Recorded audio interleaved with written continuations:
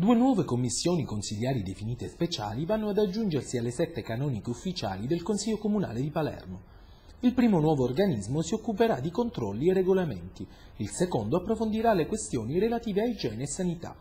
Due commissioni extra per due settori ritenuti degni di meticolosa e particolare attenzione, nate anche dalle esigenze di riequilibrare qualche scompenso frutto di malcontento tra gli schieramenti nella ripartizione delle cariche a Sala delle Lapidi. Una delle due presidenze infatti sarà sicuramente affidata a un consigliere del Partito Democratico facente parte dell'opposizione, mentre l'altra dovrebbe rimanere di pertinenza di Casa delle Libertà.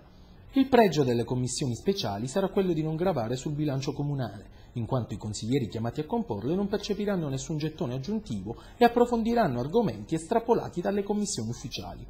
Diverse le reazioni tra i consiglieri in carica a Sala delle Lapidi.